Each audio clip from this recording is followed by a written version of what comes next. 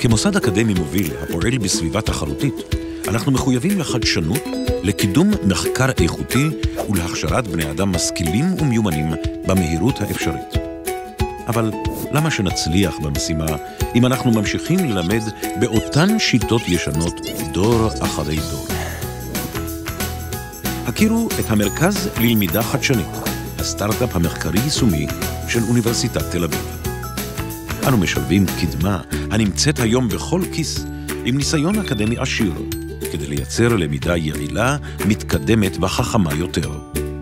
אנו מעניקים למרצים אפשרות טובה יותר לניהול זמנם בין הוראה למחקר.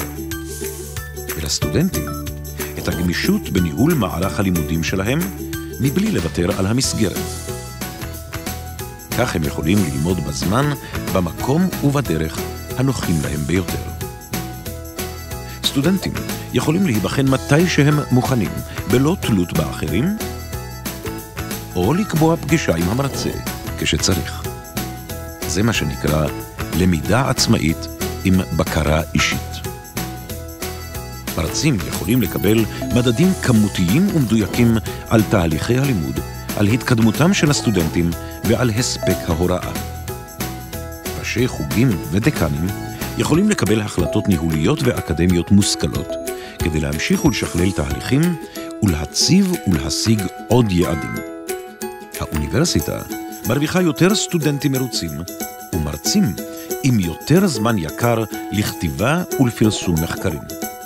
זה מיזם יישומי ראשון מסוגו בעולם, מפעל המשתף פעולה עם תעשיות טכנולוגיה מובילות ועם כיתות פעילות בפקולטות.